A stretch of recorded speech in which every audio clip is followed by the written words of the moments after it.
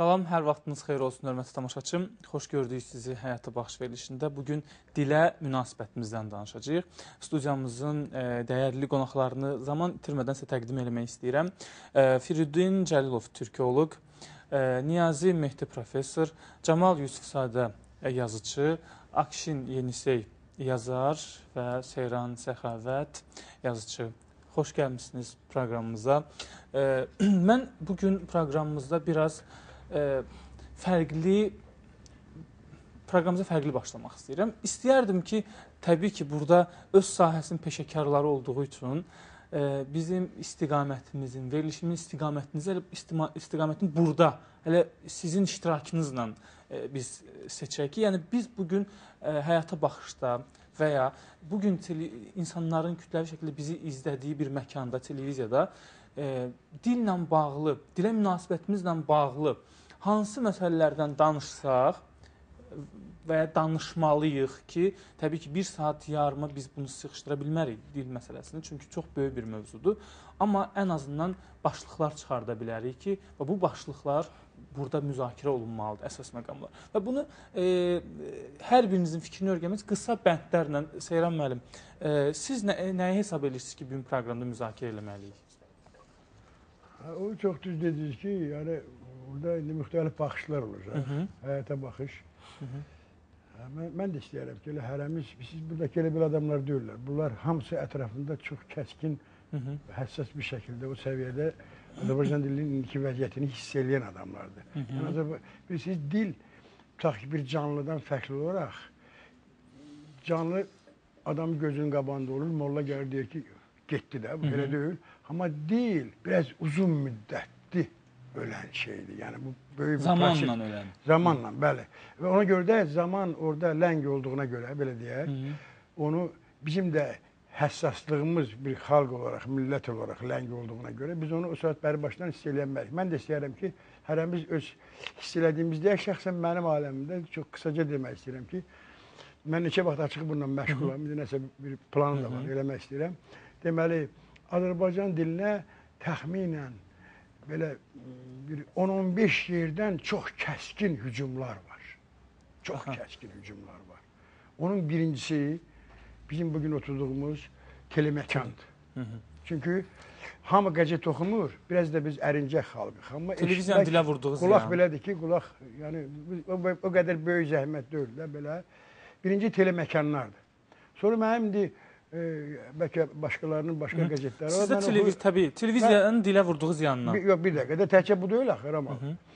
E, yəni bax e, qəzetlərdir. Qəzetlər. Üzdə olan qəzetlər. Mən o altda olan qəzetləri demirəm. Götürün oxuyun. Azərbaycan dilində cümlə çapmaq çox çətin şeydir. Sonra elə həmən televiziyanın vasitəsilə müxtəlif peşə sahiblərinin televiziyada danışıqları dəhşətdir. Filosof düzür bərdə, bu kütləvi informasiya vasitəsidirsə, filosof düzür bu başdan o başa bütün deməli terminləri. Həkim o cür. Azərbaycan dili var. Məsələn, həkim deyir ki, boyun nahiyəsində qəzada fula, nə bilim, o biraz daha qəlizləyir. Amma xalq deyir ki, bunun boynu qırılıb da. Bunun Azərbaycan dili var axı. Sonra müxtəlif peşə sahibləri bax bu cür elə e, hüquq mühafizə orqanları tərəfimizdən cinayət işi qaldırıldı.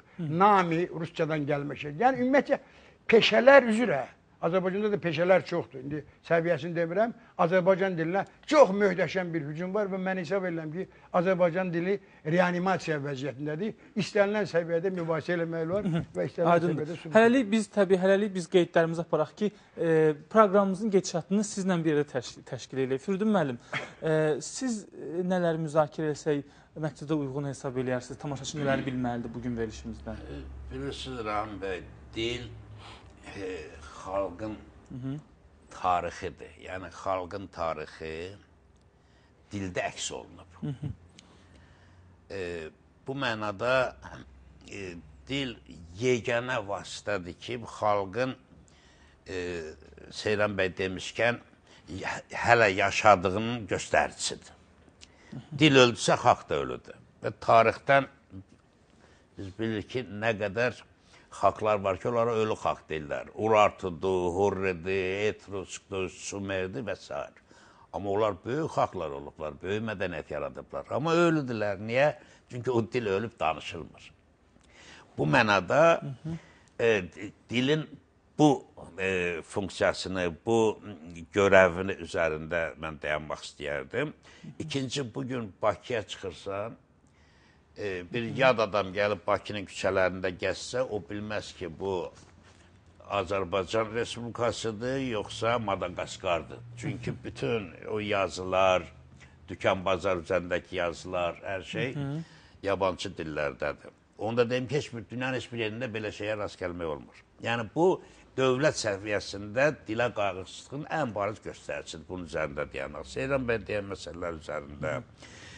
Sonra e, dilin daxili təmizliyi, dilin daxili təpəri üzərində deyərək ki, e, Niyazi bəyin bu sahədə araşdırmaları var. Yəni alınma söz, Alınma sözlər. Hə, alınma söz dilə girəndə qısır qalır. Bu məsələlərdən biraz danışarıq. Və mənim üçün də maraqlıdır. Dostlarım hamısı sözlə işləyən insanlardır. E, birbaşa sözlə işləyirlər. Bunlar daha çox görürlər o. Dilin problemlərini. Görək, Ortalığa görək nə, Niyazi nə müəllim nə çıxarsa mən də qoşularam. Aha, Niyazi müəllim siz nə müzakirə də milli qürur məsələsi. Başqa da sadalamayız. Çünki dostlarım hamısını sadaladı. Ee, Başqa cür edib yola dil, dilin dilin imici demək olar bəlkə də. Sadəcə istəmirəm xarici sözdən başlayım. Camal müəllim siz e, nəyi müzakirə təklifiniz nədir? Yəni təkliflər artıq dostlarımız dedilər ki, hansı problemlər- Sahə daraldı. Yəni məlumdur ki, hansı problemlərə toxunmalı olacağıq söz ətrafında. Amma dilə ciddi yanaşmaq lazımdır. Yəni e, dilə elə belə sadəlövhcəsinə yanaşmaq olmaz ki, e, dil xalqın necə deyirlər, simasıdır. Dil xalqın mənliyidir. Dil xalqın necə müstəqilliyidir yeri gələndə. Və əgər biz dünya miqyasında götürsək, görürsən ki, ən böyük tribunalardan e, hərə öz dilində danışır. Halbuki onlar müxtəlif dilləri də bilirlər, danışa da bilərlər. Amma təmsil elədiyi xalqın dilində danışmaq axı bu qanundur. Yəni sən onu bildirməlisən, sən bu xalqın nümayəndəsən, sən bu xalqı təmsil edirsən. Ara müsahibədə, başqa şeylərdə sən danışa bilərsən. Bu müqavimədə olan şey deyil. Amma dilə bu dərəcədə ki, mətbuatda bu dəqiqə elə yanaşırlar, teleməkanda elə yanaşırlar. O cür yanaşmaq olmaz.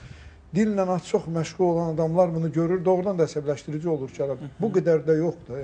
Yəni heç nəyə baxmadan ağına bozunda sözün nə əvvəli olur, nə axırı olur, bilmirsən nə nə nə formadadır bu. Bir də dilin bir var nəzəri tərəfdən məsələn bizim alimlərimiz, dostlarımız bu nəzəri cəhətdən bunu çox gözəl işləyiblər. Xidmətləri çoxdur. Onu izləyən adamlar olmalıdır. Amma dilin praktik tərəfi də var ki, o bu günləri işlək olmalıdır.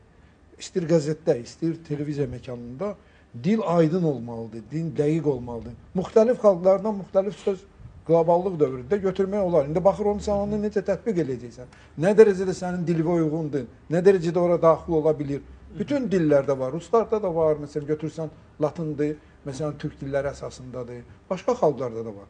Yəni bu qadağan deyil, amma baxır nə götürsən və necə götürsən. Aydındır. Yəni din problemləri çoxdur. Akşin bəy, siz nə düşünürsüz? Bu gün sizin tərəfdən baxanda dilin hansı problemlərini görürsüz? Mən e, dilə yəni milli e, yöndən yanaşmağın tərəfdarı deyiləm. Çünki məsələn bugünkü Niyazi müəllim yəqin ki, bunu məndən daha yaxşı bilir. Avropa fəlsəfəsi dilə ümumi məfhum kimi yanaşır. Yəni insanın, bəşərinin, ins bəşəri insanın bir tərkibi kimi yanaşır. Və bu yöndə onu araşdırır, dil məfhumunu. Amma mən məsələn öz ədəbiyyatımızda, öz e, belə deyək, mədəniyyətimizdə bir şeyi istəyərdim ki, biz onu müzakirə eləyək, əgər e, hı. Təbii, bəylər təbii, buna qeyd edeyim. razılaşsalar. Düşündüyümüz dil, danışdığımız dil və yazdığımız dil. Bu üç sferanın sərhədlərini müəyyənləşdirmək lazımdır. Ki, düşün hansı necə düşünürük, necə yazırıq, necə danışırıq. Bu sərhədləri müəyyənləşdirmək lazımdır. Okay, onda belə eləyək. E, başlayaq e, artıq müzakirəmizə. Bayaq Camal müəllim dedi ki, dil millətin, e, xalqın simasıdır. E, mən belə bir sual vermək istəyirəm. Əgər dil xalqın simasıdırsa, bu gün bu sima e, simanı necə təsəvvür edirsiniz? Bax bu gün necə görürsüz bu simanı? Kimdən başlayaq? Firdun bəy, buyurun sizdən. Yəni simanı necə görürsünüz? Bu- Peki Yaxşı, Seyran bəy. Seyran bəyimlə başlayaq. Seyran müəllim. görün nə nəzərdə mən o Uyğun gəlir onun dediyindən sən dedin. Yəni uyğun gəlir, düz Mən formada istəyirəm ki, təsəvvür etsin, mü- mü- münasibətimizi təsəvvür eləyəsiniz. Yəni dilə münasibətimiz nədir və xalqın siması artıq bu dil baxımından dəyişmək üzrədir. Siz dediniz ki, artıq fa, fa, biraz faciələşdirdiniz dediyinizdə və bu dəyişmə çox ciddi bariz şəkildəmi görünür, yoxsa hələ təhlükəlilik səviyyəsi o qədər də Yox, yüksək deyil? təhlükəli səviyyəsi çox yüksəkdir. Hətta harasa yazıb yapışdırmaq, o elektrik stansiyada da yazırlar, "Ey, əl vurma öldürər. Bax, o sə sə- səviyyəni soruşsa gəlib ora çıxıb. İnanın ki, mən hakik çalmaq istəmirəm. Bu bax bunların hamısı mənim dostlarımdır və bunlar çox ətrafında bunu hiss edirlər. Evdə də oturub baxışlar istərsənməz. Hər şey elə şeylər deyirlər ki. Burada o sima, millətin simasıdır, aydındır. E, Sən var o bax deyim də sənə bir dənə indi mən biraz söz adamıyam. Bax millətin siması dilimizin indiki vəziyyətində dediyimiz kimi əgər dil həqiqətən də belədir, millətin simasıdırsa, o qabaqdan naşı fotoqraflar olur, de Lübitel aparatı ilə. Elə çəkirdi ki, sən özünü tanımırdın. Gərək deyirdi ki, bax bu Camaldır, bu Firidundur, bu Akşindir, bu filandır. Bax Simadan, Simadan da birinci baxış gəlir də göz qabağına. Elə deyil. O Sima belə tanınmaz bir vəziyyətdədir. İnanın mənə. O günü bir dənə hərdən arada bir cümlə dedim elə. O günü bir qohumumun işini düzəldirəm Niyaz. Belə bir ki, sənə deyirəm də, ya Firiduna bunlar mən neçə vaxt sayıram. Biraz ləngiyir, bellir. Hətta görün hara gəlib çıxıb Firidun, dəhşətdir. Xalqın dili o qədər ütü, ütülüb, o qədər hamı hamar, ütülü, səlqəli, əslində çox səlqəsiz, çox ütsüz danışmaq istəyir. Mənə zəng gelib ki, nə oldu? Bəs deyirdim düzələcək. Deyirəm ki, bala düzələcək də. Yox deyir təzədən onu göndəriblər ki, baxsınlar bunun savadını zadını müəyyənləşdirin. Sonra mənə bildir. Gör hara gəlib ha. İndi hamı səs səsdən almarsın. Deyir ki, e, e, əmoğlu bəlkə bu vəsaiti istəyir. Demək istəyir ki, gül kimi dilimizdə söz var da, rüşvət. Hətta o sözdə artıq biraz keçib dal plana, arxa plana. Deyir bəlkə vəsait istəyir. Dedim hə adam kimi danış da. Vəsait nədir? Vəsait vasitə sözünün cəmidir, ərəbcə. Bizdə yox. Yəni bax orada da e, qalxotçu da Hörmət sözü vardı əvvəllər. Kətçi Hörmət- deyir ki, yox gül kimi rüşvət sözü var. Hörmət sözü var. O sözün sinonim səhərdən qədər Tapa bilərik. Kəndçi gəlib desən bir dəfə demişəm. De, mikrofonu görən kimi kameranı deyir ki, mən bazara daxil olanda bax dəhşətdir. Görün Azərbaycan. Ə kəndçi bazara daxil olmasa girər. Belə professor da girər, yazıcı da girər, aparıcı bazara girdim, evə girdim. Belə çox doğrudan sürüşkən bir e, təhlükəli bir zirvəyə gəlib çatıb Azərbaycan dilinin. Zirvəyə ha, ölümü. Firdun müəllim, bu təhlükəlilik səviyyəsi doğrudan da Seyran müəllim e, e, bayaq dedi ki, hayküyü qaldırmaq istəmirəm, amma bu belədir. Yəni o doğrudan da hayküyün doğrudan da əsası varmı? Yoxsa siz bəlkə biraz nisbin yanaşırsınız? Yox, təbii ki var. Amma mən e, necə yanaşmağımdan asılı olmayaraq bir də bir gerçəklik var. Reallıq var. Hə, o gerçəkliyi görəndə mən biraz e, nikbin oluram. Çünki mən bu dilin daxili gücünü bilirəm. E, bu dilin e, təpəri o qədər güclüdür ki, biz Seyran bəy bəzən tənqid edirik, eləməliyik dildəki qüsurları zadı. Amma dilin o daxili təpəri ilə tanış olanda adam heyran olur ki, ilahı bu bizim dilimizdir. Yəni dünyanın gözəl dilləri çoxdur. Yetişmiş, yetişkin, yəni elm əsərlər yazılan, fəlsəfə əsərlər yazıla bilən dillər. Məsəl üçün fars dili tarix boyu bizə tərifləyiblər. ki, çox gözəl dildir, çox ağır. Amma fars dilində elm əsər yazmaq mümkün deyil. Niyə? Çünki şeir dilidir, poeziya dilidir. Başa düşürsən? Or əgər fars dilində bir elmi əsər yazılırsa, oradakı 90% söz ərəb sözləridir. Elə bil ki, ərəb dilinin bir ləhcəsi. Düz deyir, Farsda o ayın tarixini yadda saxlamaq üçün ona da şeir qoşulur. Bizi fərvərdim, be güzəşti, mahi ordu, behişt öyle. Yəni- ayın tarixi yanına böyle saxladı yadda. Bunu da şeirlə eləyir. Hə, bu mənada mən bu şeylərlə məş məşğul olduğum üçün hətta indi gəlirəm türk dillərinə. Türk dilləri bizdə çoxdur. Bir e, 28-30 türk dili var ki, bəziləri ləhcə deyil, mən dil deyirəm onlara. Ayrıca formalaşmış dildir, zəngin də dillərdir. Bu türk dillərinin içərisində Niyazi bəy 3 dil var. Uyğur dili, Tatar dili, Azərbaycan türkçəsi. Bunlar dəhşətli dərəcədə inkişaf yolu keçiblər. Görünür bunların yazılı ədəbiyyatı olub, nə olubsa.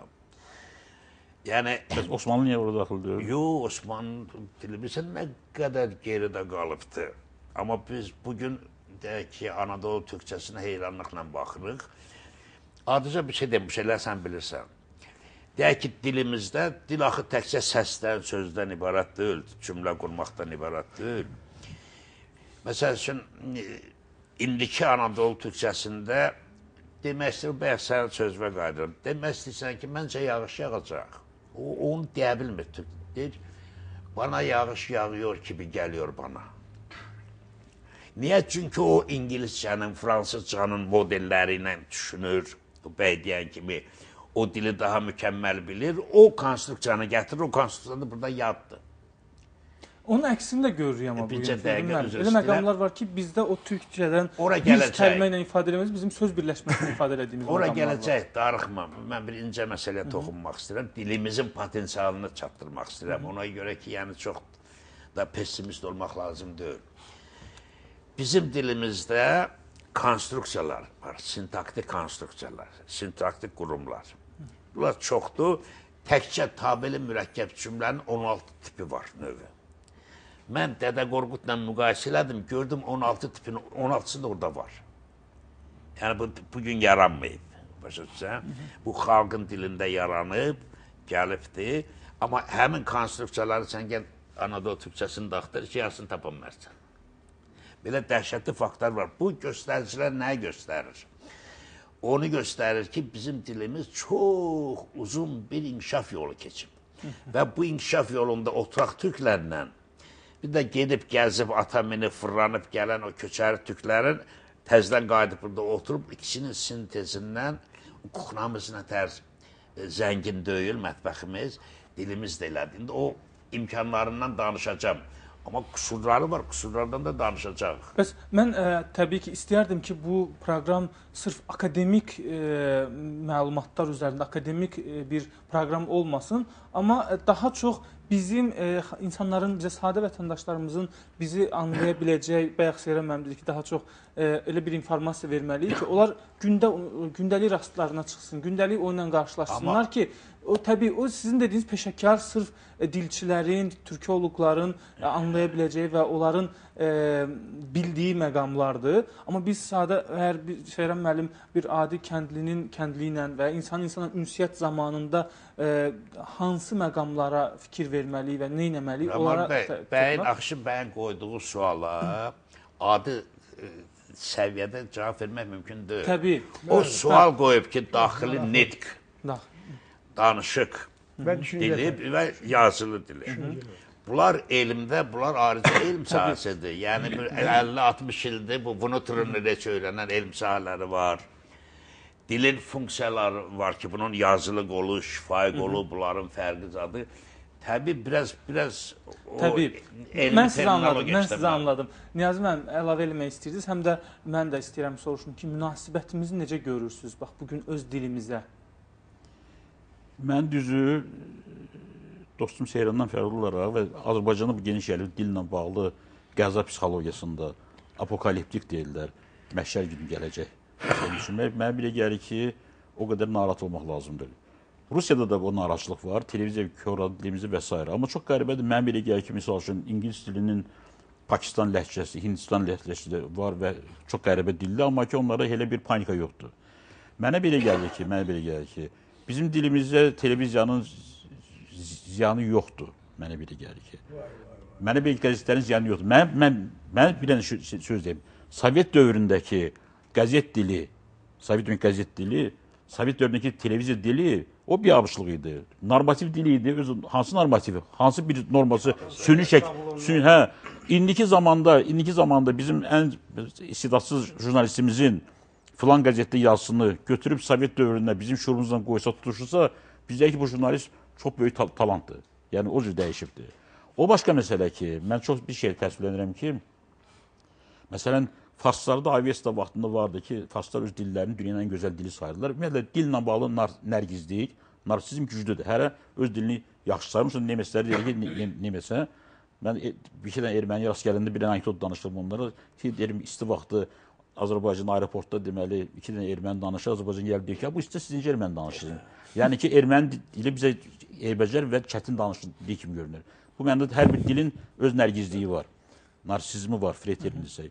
Amma bizim indiki zamanda çox qəribədir ki, bizdəki Azərbaycan gənclərində o nərgizlik azalıbdır. Bizdə necə ki, necə ki mağazinin üstündə nə bilim bir dənə brend ya brend tipində bir söz olanda o daha şey görünən ki, Azərbaycan sözü olanda bu kəndli söz kimi görünür. Bizim qəzetlərimizin hamısının adı, telekanalların çoxunun adı deməli brend prinsipində latın german sözləridir. Eləcə də gənclərimizdə, gənclərimizdə dilimizlə bağlı qürur siz zəifdir. Onlara şuursuz olaraq belə gəlir ki, bu nəsə geridə qalmış bir dildir, kəndçi dilidir. Onu mən narahatam. Misal üçün mən xaricdə olanda aeroportlarda mən nə görürəm? Görürəm ki, gürcü gürcü danışır, erməni ermənicə. Bir dalıq qalıb ermənilər rusca danışırlar, öz aralarında qəribədir. Bir də ki Azərbaycanlıların xeylisi rusca danışır. Bəziləri sən dedim. Hətta bizim haqq qoruyucu fəallar ki var ya, hamısı millət millət millət sevərdirlər, patriotdular. Digər yenə ki, bir dənə bunlardılar bütün bu beynəlxalq konfranslarda olanda bir rusca danışan. İndi mən demirəm ki, süni şəkildə onlar ora gedən Azərbaycanlılar gülməlidir. Təkcə onlar deyil, Azərbaycanda ümumiyyətlə elita dediyimiz insanlar, onlar e, daim Rus dili rusca modası danışmağa-. Danışmağa həvəs həvəskardılar və özlərini e, kim rusca danışdı o sanki daha e, elit, daha e, çox oxumur, yəni fərqli təqdim etmək üçün o e, rusca məcburən, yəni qarşısındakı Azərbaycanca danışmağına israr eləməyinə baxmayaraq bu da israrla rusca danışır. O üçün mən deyirəm ki, milli qürur məsələsi, dillə bu- bağlı milli qürur məsələsi zəifdir. Təbii, Onun da bu- səbəbi səbəbi araşdırmaq lazımdır. Amma bütünlükdə Səbəbi aydındır orada. O ilə məşğul olan dövlət idarələri, qurumları bu məsələyə dırnaqarası baxır. Əgər sən səfirin e, deyək ki, bir nazirin bu dildə danışa bilmirsə, bu bu biabırçılıqdır.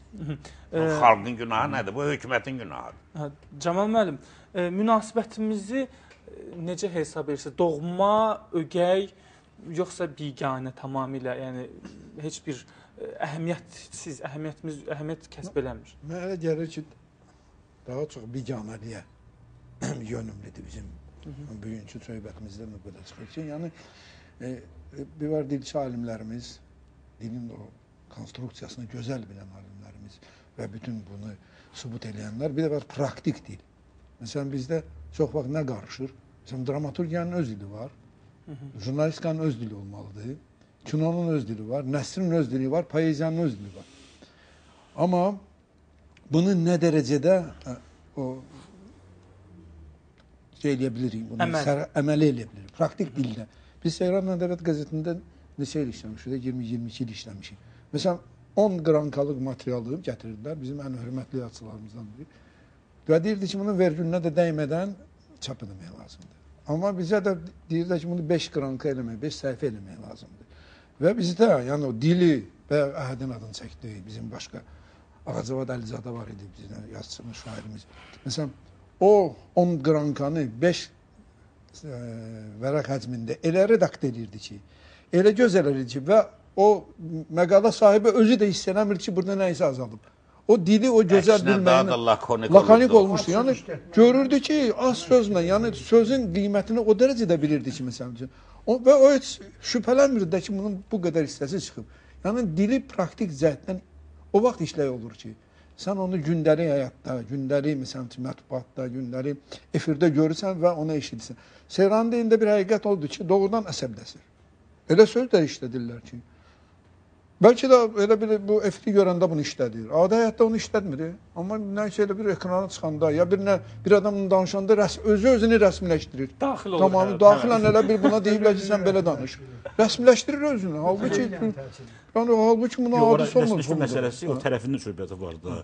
Bunu Erich Fromm Freydin tələbə davamısı o Avropada göstərir ki, tendensiya gedir anonimləşməyə.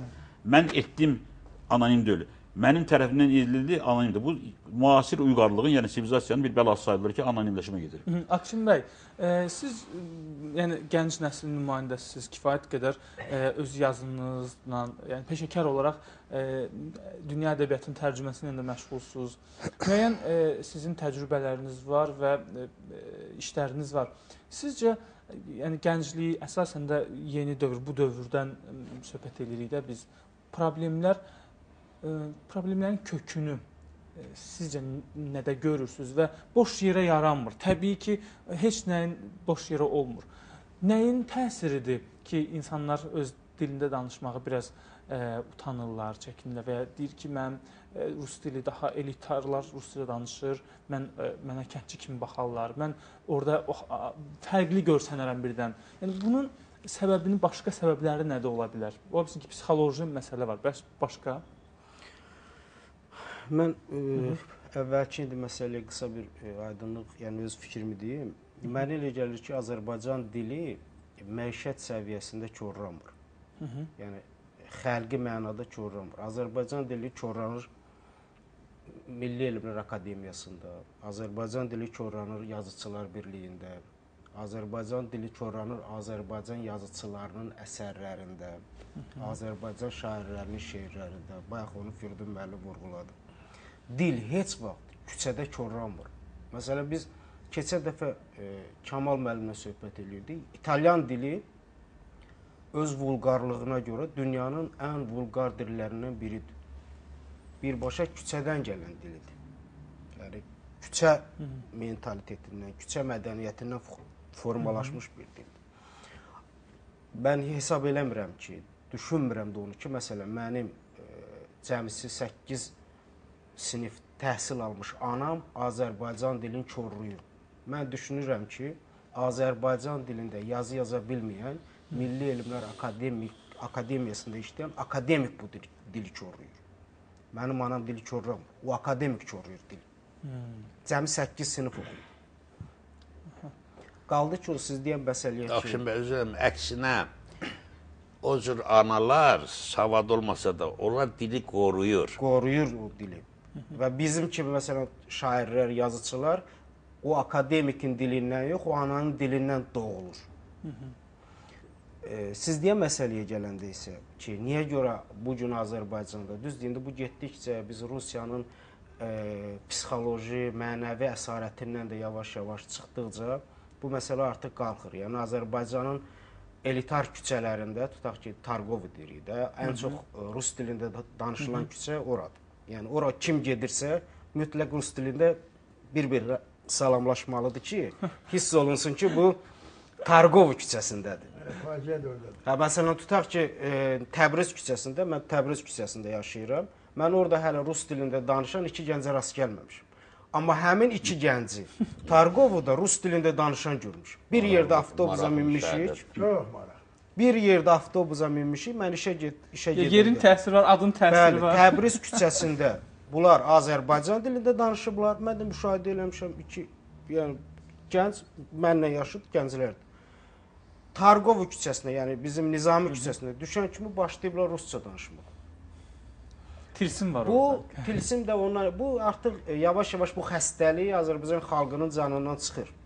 Bu yəni biz artıq ki özümüzü xalq kimi hiss eləməyə başlayandan sonra öz pulumuz öz cibimizdə hiss eləyəndən sonra bu çox vacib E, məsələdir. Akşin bəy, e, bizim şəhərimizə e, xarici qonaqlar çox gəlir və bizə yaxın olan ən çox da türklər bizim şəhərdə olur. Onlar təbii ki, gəzdirəndə ilk əvvəl onu içəri şəhərə, Targova, siz dediyiniz yerlərdə çox rusca danışılan yerlərə onsuz aparırlar və onların hər birinin ilk əvvəl verdiyi sual olur ki, sizdə niyə hamı rusca danışır? Ə, onlar axı orada olurlar sadəcə. O gəzməli yerlərimiz oradır mərkəzdə. Yəni onu Təbriz küçəsinə aparmırıq, onu digər küçələrə aparmırıq. Targoviya apardığımız orada ha, hər kəs də elə bilir ki, bizdə bizim ölkədə Azərbaycan dilinə qarşı sevgi yoxdur, e, bu diqqət yoxdur və öz dilimiz yox, məhz rus dilində danışmağa. Sizə bir dənə e, bu bir faktı deyim, üzr istəyirəm sözü kəsdim. Siz Sovet dövründə Azərbaycanın bütün xalq şairləri, xalq yazıçıları evləri məhz həmin Targov küçəsində olub. Rus dilində danışmaq ənənəsi rus olub elitar olmaq ənənəsinin kökü o dövrdən başlayır. Siz Targov küçəsində elə bir bina tapmazsınız ki, orada hansısa Azərbaycan yazıçısının, xalq yazıçısının və yaxud xalq şairinin o, o bu evdə binada yaşamışdır. O nəsə deyirlər ona bir Hə. e, söz yadıma sala bilmirəm. Barilyev, Barilyev. Ki filan xalq yazıçısı bu evdə yaşamışdır. Əgər bu xalq yazıçısı bu evdə yaşayıbsa, bunun məhləsində niyə hamı rusca danışır? Demək bu ənənəni bu xalq yazıçısı qoyub. Seyran müəllim, baxın, bayaq siz televiziya, kütləvi informasiya vasitələrini bəhanəniz, amma bu daha faciəvi deyilmi? Akşinin dediyi akademiklərin, e, yazıçıların dili. Kütlə, kütləvi sözü var da. Kütlədən də gözümüzün qabağına kütlə gəlir. Elə deyil. Akşinin dediyi çox düzdür. O da bir Sonra Akşin ələ çıxışının əvvəldə dedi ki, necə düşünürük, necə danışırıq, necə yazırıq. Bu artıq böyük bir konfransın bunlar bilər mövzusudur. Amma bizən e, sonra Akşin bir şey dedi. E, o, o da xoşuma gəldi amma e, axırda gözlədiyim bir cümlədə deyəcək. Bizim usta bütün gözlədiklərimiz deyilmir ki, yəni. Düz deyil. Akşinin anası simvolik götürdük. O dili körləmir. Yuxarıdakılar yuxarıdan gəlir. Amma Akşinin anası nə qədər möhkəm Wolfram materialdan olsa da o da başlayır yavaş-yavaş körlənməyə onu. İndi Bazarda mən dedim bayaq misal çəkdim də bazara daxil olmaq məsələsi. O da bəlkə sizin qonşunuz deyil, bəlkə də ananın bir sinifdə oxuyub. Mən belə biraz rəmzi danışdım. Amma ki yenə deyirəm, əgər onda yəqin mən nəsə yenə yerimi dəyişəm, mövqeyimi dəyişəm. Mən yenə təkrar edirəm ki, yenə təkrar edirəm. Bizim ən çox ünsiyyətdə olduğumuz telemekandır. E, Seyran müəllim, bizə Azərbaycan tele, xüsusilə o futbol ən çox indi e, kişilər ən çox futbola baxır da. Sən vurub bax indi mən sizə bir şey deyim də. Nə olar indi burada 5 ziyalı yığmışıq, bir ziyalı qardaşımıza veriliş aparır. İstənilən televiziyanın, istənilən verilişini oturaq bir dəfə müzakirə ilə cümlə-cümlə. Çıxdaş eləyək də görək orada 30% Azərbaycan dili qalırsa, mən əlimi deməli Niyazi Mehdinin yanında əlimi dallayıram. Özəlliklə tərcümə filmlərində. İndi mən deməliydim əlimin arxasını. Əlavə eləyim. Əlimin arxasını deməliydim də, güya mədəni çıxmaq üçün. Dal sözündən, dal sözündən niyə qaçırsan? Girmə sözündən niyə qaçırsan?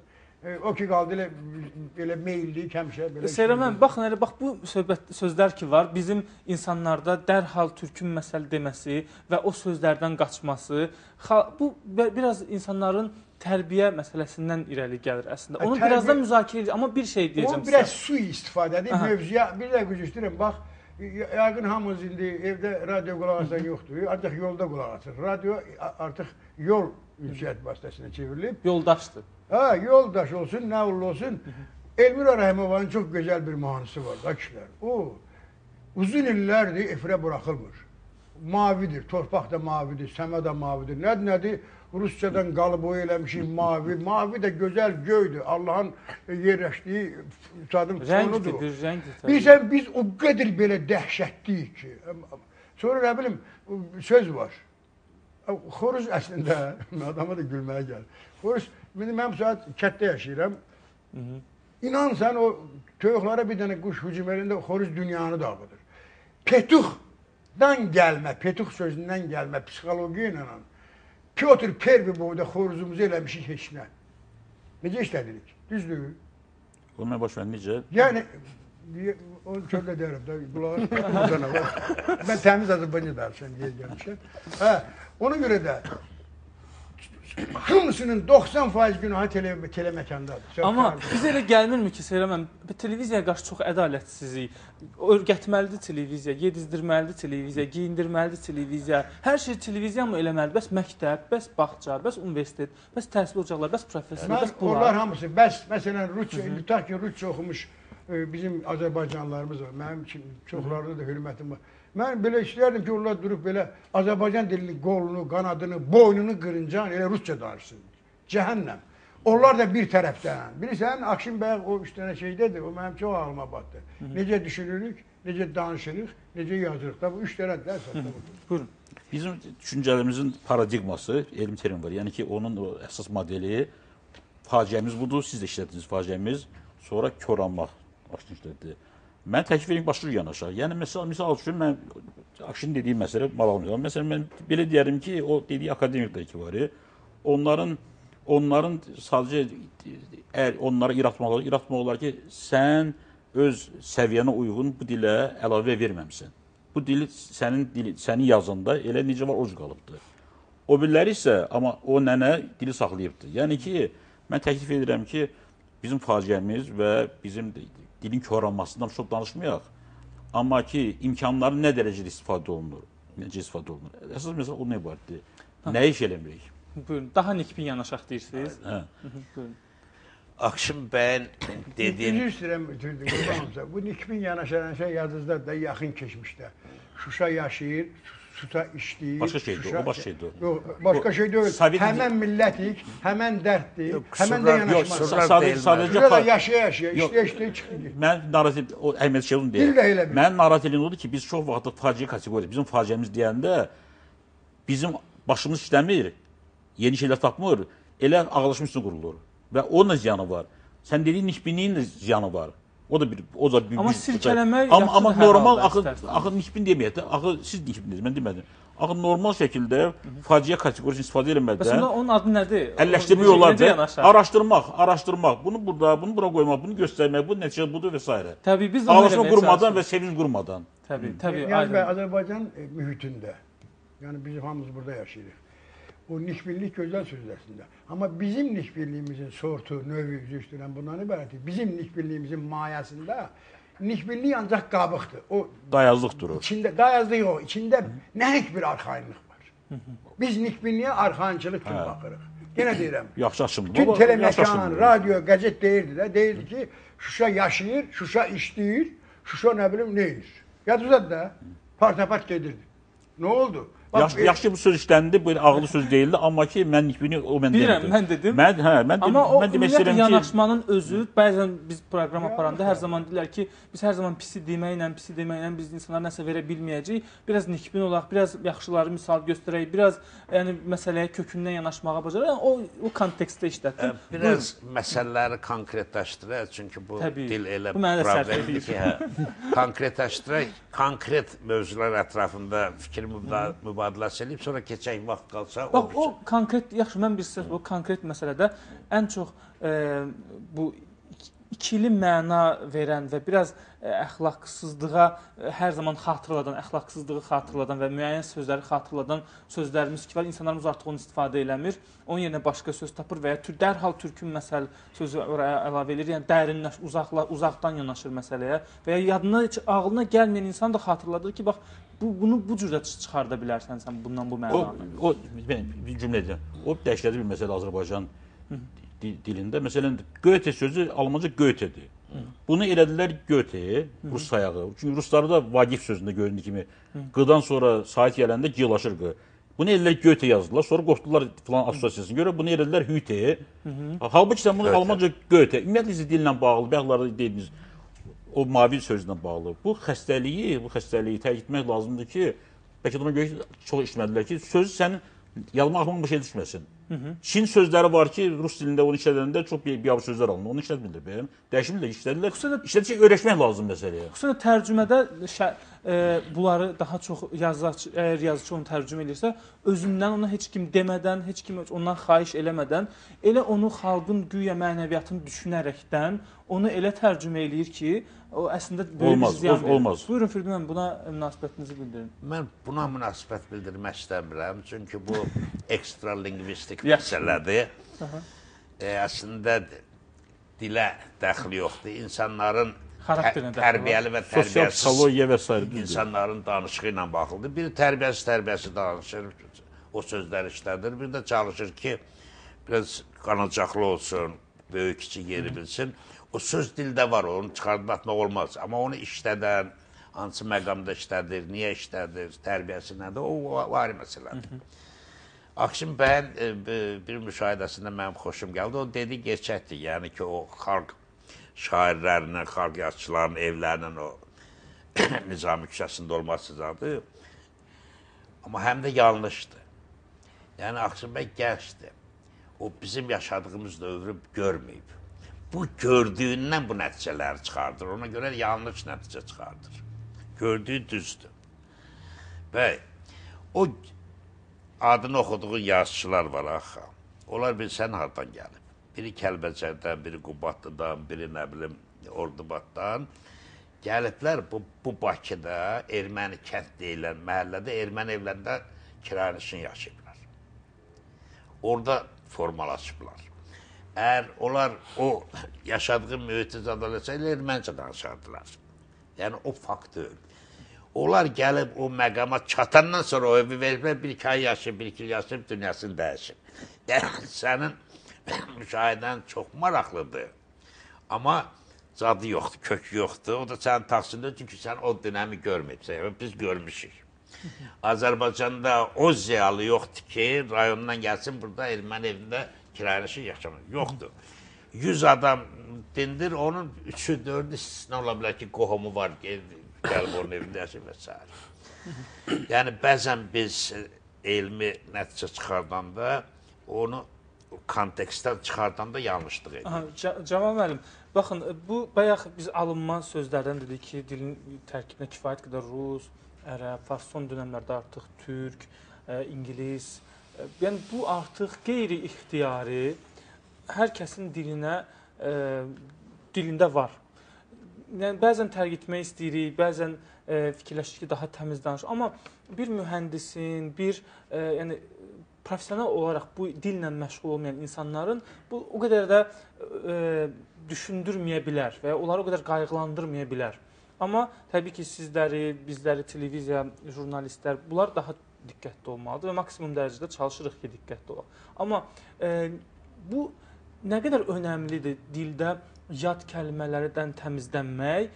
E, nə olur dilə? Nə baş verir ki? Yəni niyə bu qədər narahatçılıq törədir? Yəni böyük qlobal mənada götürəndə, bütövlükdə, yəni tam Hı -hı bir dil yoxdur. Yəni deyim ki, o alınma sözü olmayan dil yoxdur. Yəni Hı -hı. yenə bayaq mən dedim ki, əgər rus dilini biz götürsək, lap elə mən ingilis dilini o, o dərəcədə bilmirəm, deyə bilmərəm.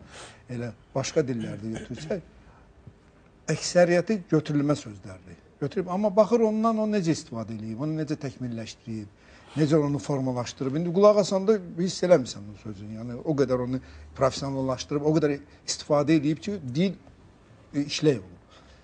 Məsələn, e, biz götürə bilərik. İndi götürsək dil tərkibini, sözümüzün ə, e, dilin tərkibini götürəndə çox sözlər var. Amma elə sözlər var ki, artıq biz onu öz dilimiz, türk dili kimi də qəbul edirik və elə də danışırıq, elə də hərəkət edirik məsələn. Məsələn, özəllik sözü bir zaman bizdə heç istifadə olunmayan, amma ə, e, türkçə, Türkiyə türkçəsi ilə yəni televiziyalar açıldı, ümumiyyətlə seriallar və digər yəni daha sıx münasibət var. Artıq biz özəllik sözü biz daha çox istifadə edirik, özəllik. Bunu dil, və, bizim dilçi alimlər müxtəlif səmtində elə o bu sözlə bağlı bir araş verim. Onu ilk dəfə, yəni rəsmi sənədə mən saldırdım. Parlamentdə Azərbaycanda. Hə, hə özəlləşdirmə qanunu qəbul olunurdu. Orada məsləhətləşdik ki, özəlləşdirmə işlənirdi.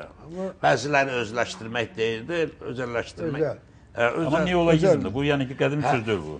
Yəni söhbət nədən gedir? Nədir? Rama bəy, bu Qədim söz deyil, yeni sözdür. dil qayğı tələb eləyir. Çox yanlışdır. Əgər dilin qayğısı olmasa, Düzdür. Bəy deyən kimi dil ölümə doğru gedər. Mütləq qayğı lazımdır. Bir anlığa gəlin, bayaq Akşin yaxşı məsələ qoymuşdu, iPhone-dan uzaqlaşırıq. Dilin funksiya məkanı var.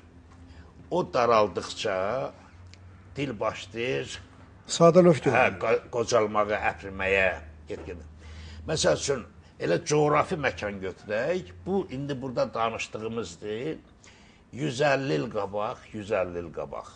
Deməli Dərbənddən tutmuş Tiflis, İrəvan, Mosul, Kərkük, Həmədan, e, Tehran və bir də Bakı, Dərbənd. Bu ərazinin gözünün qabaq. Bu ərazidə işlənən ortaq dildir. Bu ərazidə yaşayan ayrı xalqlar da bu dildə danışır. Azərbaycan yəni. Hətta 35-ci ilə qədər Dağıstanın ana yasasında dövlət dili türk dili. Türk dili.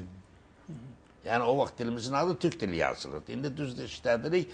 Mən işlətmirəm, amma yanlışdır. Gəlin elə onu da burada düzəldək. Amma bəzi insanlar da deyir ki, niyə mənim dilim türk dili, mənim dilim elə Azərbaycan dilidir. bir dəqiqə. Yəni bunun əsası nə qədər əsası? Bəzən bilənlər və Elə ora bilməyənlər gəlirəm. Normal bəy, ora gəlirəm. Ümumiyyətlə Azərbaycanca deyimi yanlışdır, elmi deyil.